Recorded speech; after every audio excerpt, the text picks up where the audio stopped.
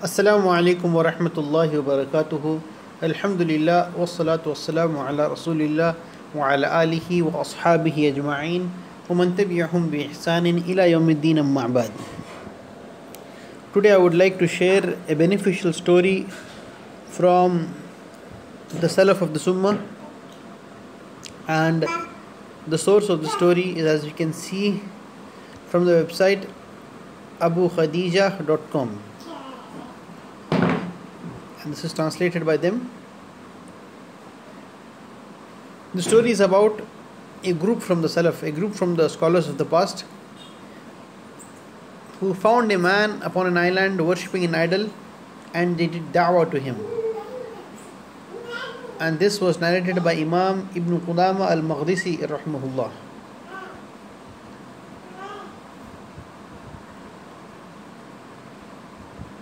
So let's look into the story. It's a very beautiful story, Alhamdulillah. Ibn Qudama al Maqdisi mentioned from Abdul Wahid ibn Zayd who said, So Abdul Wahid ibn Zayd is the one who narrated this. He said, We were upon a ship and we were overtaken by a strong wind towards an island. So we disembarked the ship and found a man there worshipping an idol.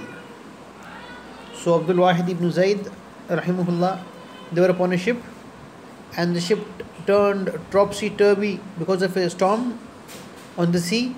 So they went towards an island. The ship banked and rested towards an island.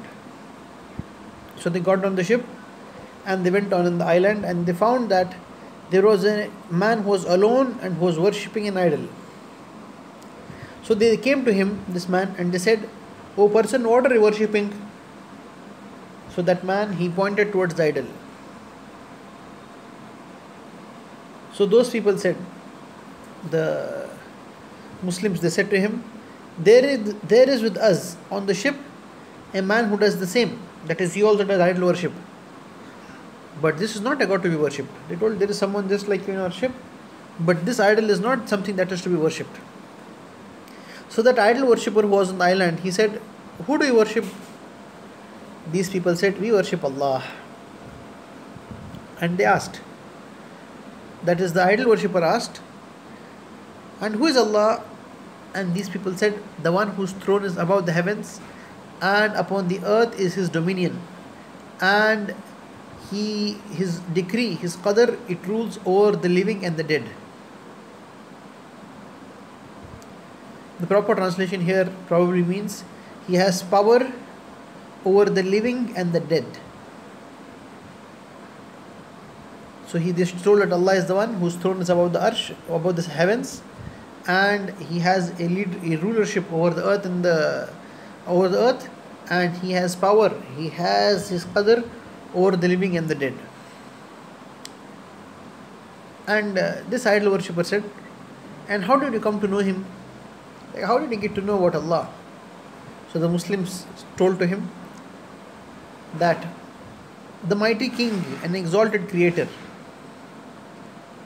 that is they're saying that allah they're describing allah and saying that the mighty king and the exalted creator he sent to us an honorable messenger. And he informed us. That is allah sent them a messenger prophet sallallahu alaihi wasallam and he informed them he informed them that allah is there. Then the idol worshipper asked and what did the messenger do? Like, what did that messenger do which Allah sent? The Muslims replied, He fulfilled the message and then Allah took him to Himself with death. So he said that he did his da'wah, he fulfilled his message, and he went back to Allah by dying. So the idol worshipper said, So he did not leave you with a sign? Did not did he not leave you with the uh, something which shows that Allah is there or something like that with a sign with the proof of Allah.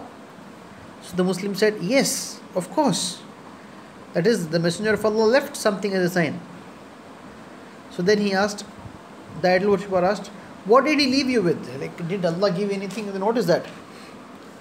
So the Muslims answered he left us with a book from the king. That is uh, the Prophet ﷺ was given the Quran from Allah. So this man said, so this man, the idol worshipper said, Show me this book of the king, because surely the book of the kings are the most excellent. He said, Show me this book, show me this uh, Quran that you have, because the books of the kings, they are the best. So he wanted to see what is this book of Allah. So the Muslims they gave him a mushaf, they gave him a copy of the Quran. So this idol worshipper said, I don't know this. Like I, I cannot understand this or he cannot read this. So the Muslims they read out to him, the Muslims read out to him, recited to him a surah from the Quran. Then the Muslims, as they recited, this idol worshipper he started crying, and as they read more, he cried more, and they completed reciting the surah that they were reciting. Then the idol worshipper said, Subhanallah, this is the Quran, it moved the heart of the idol worshipper when he heard and he understood the Quran. The idol worshipper said, It is obligatory that the one who spoke these words is not disobeyed. Then he accepted Islam and these people, these Muslims, they taught him the laws of Islam and the chapters from the Quran. And now they took him along with them on the ship. Now, this whole party, all of these people, all of these people, they traveled, and when they were traveling, it was uh, night time. And every person went back to his bed. So then, this man the new Muslim, we'll call, I'll call him the new Muslim now because he's not an idol worshipper, right? Now, this new Muslim, he asked the Muslims, O people, this God that you have guided me to, okay, that you have made me a Muslim, so this Allah that you have guided me to, when night comes, does Allah sleep? So the Muslim said, No, O servant of Allah, He is ever living, self sufficient, that the creations, the people depend upon, rely upon the mighty who does not sleep. So they told him that uh, something like, Yeah, he, Allah does not sleep, Allah is the most powerful, ever living, self sufficient. Allah is not weak, He does not need sleep. So the idol worshipper uh, who had accepted Islam now, this new Muslim, he said to the Muslims, What bad worshippers you are! You sleep while your guardian, your protector does not sleep. So this uh, this new Muslim he said, like, what kind of bad people you are? You are sleeping in when Allah is awake. So this uh, new Muslim he started worshipping at night, and he left the what you say the Muslims alone. He was he worshipped Allah in a corner on the ship. Now they reached their land. Now they reached their destination, and uh, the Muslims the one who's narrating the story, he said to his companion, the one who's narrating the story, he said to his companion, This person is new to Islam and a stranger in this land. That is, he's saying, he's implying that he's a new person, he has just accepted Islam, he's a stranger.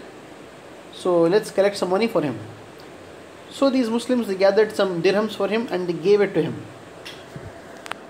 When they gave it to this new Muslim, he said, What is this? What is this?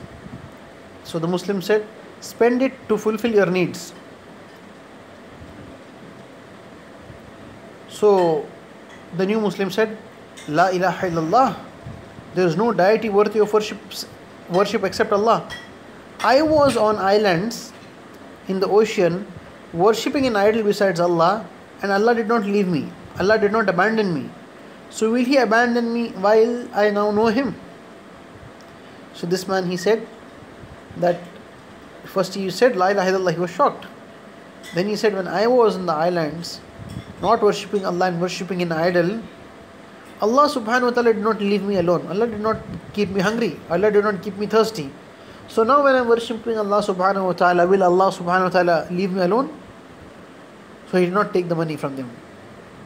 Then he left to earn his own keep, that is, he started earning living in the Muslim lands, earning for himself, and then after that, he was from the greatest of the pious ones until he died.